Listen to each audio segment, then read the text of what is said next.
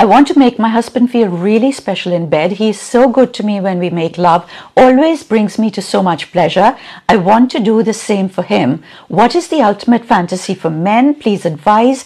Everyone says men love blowjob best. Is that true? Is that what I should do? It's not about what you do, it's how you do it. So for men, I find, generally speaking, that their biggest turn on is literally just knowing that their partner is really excited at the thought of being with them. You know, everyone likes their partner to be actively interested when they're making love, but somehow in men, that little bit of extra grr that comes into your voice and your body when you're really turned on, that seems to really do it for the guys. So don't worry so much about what you are doing. Just let him see how excited you are, how aroused you are just at the thought of being with him and be really vocal about it. Use your words, use your breath, use your sounds. Let him know that this is one time only he can satisfy you. Because as I said, just knowing that somebody's really excited about you, somebody's really horny for you, is just more of an aphrodisiac for a guy than almost anything that you can actually do.